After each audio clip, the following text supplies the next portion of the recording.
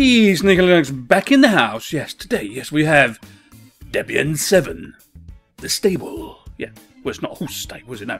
It is now turned into stable version. Okay, so we'll have a new unstable version now, won't we? Super duper. Right, when I've been reading about this over the months, has been coming up to this uh, particular time when it's going to be released. There was talk of going to XFC, doing this, doing that. So what I did, I got the net installed, which is around about 200 megs, and done it that way. Yes, it's the long way round of doing it, but yeah, I up with GNOME free. Okay, so GNOME free is the default. Okay, actually, I don't mind it too much, except the short, short uh, cuts are really a bit different to what I'm used to when using other distros. So anyway, we'll give you a good start. As you can see, it's nice and clean, and unusually for GNOME free, very very fast while recording. Yes. So anyway, with much ado about nothing, as I say, let's have a little bit of butchers. But under our main thing over here, we have Sneaky, because that's me. Now, I've not actually signed up for any of these stuff, uh, uh, empathy and all that. So there's no uh, things from Twitter available or from Facebook or anything. Like that. I don't do Facebook anyway. But there's no notifications available. None from my instant messaging or anything like that. So yeah. So next you've got system settings, lock screen, log out, hibernate, and power off. So we're going to system settings. We'll have a quick look at that for you while we're here. As you can see, it's quite basic and easy peasy, really. There's display, colour, Bluetooth, do your background. So we check the background? Why not? Hang on, whilst doing that, I'll have a little bit of a drinkage. Hang on. Mm. Very orangey. Mm. So default is here. What's that one there? Let's have a little look. look. You know what? I'm going to have that one because that sounds good to me. Well, looks good even. And you've got the old ones here as well. And obviously, you can get some new stuff if you want. So that's a little bit better. Makes it a little bit more interesting just from the swirl, okay?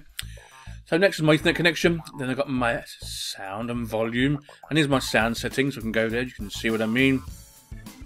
And there we go. So your sound settings for output, input, hardware, sound effects, amplification, and stuff like that.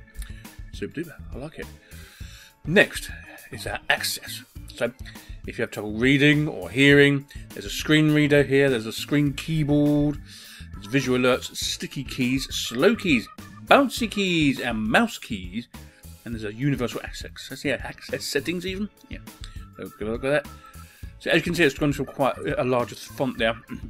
So if you are hard of reading or hard of hearing and stuff like that, it's all here for you in Debian. And always has been really, except this time it's a lot better implemented, to be really honest with you.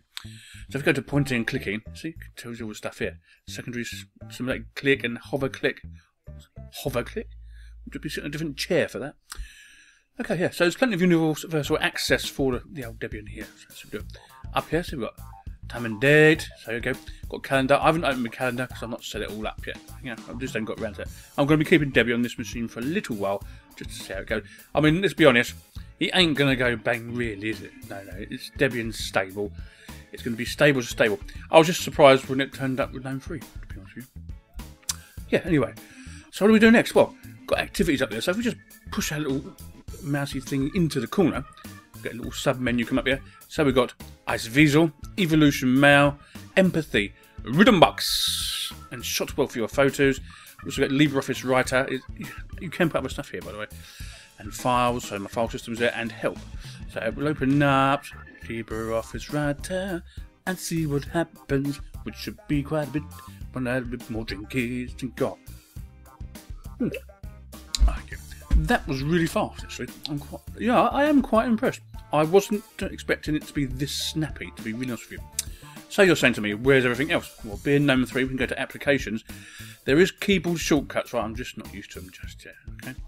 So you got add remove software, advanced settings, solitaire, my archive manager, Brasero, context, Cheese, character map, desktop search, my search desktop, empathy's there. All your programs that are actually installed are here. If we go down a bit further, as you can see, it's a full LibreOffice suite, full. We also get Inkscape, there's a couple of games here, Mahjong, the usual ones you get the name stuff, okay? Movie player, Orca is here. Also, statistics, report a bug, remote desktop. So open up remote desktop, you'll see what I mean. Help, enable shortcuts. You can just set up all this. So you have to go to connect. So if you click on connect, you put in your host name there for SSH into it, go whoosh, and you go. You know what to do. If not, there's other people who's actually done videos on this animation. I might have to do one, I suppose. You know what you lot like sometimes. Oh, yeah. Anyway, back to applications, and we go down to where battery was. As I said before, Rhythmbox is already here. Root terminal, of course. Can't do anything without root terminal. Oh, take a screenshot. So we could take a screenshot like that, couldn't we? Grab a screen thing. Well, I'm not going to do first. I'm going to open up something first.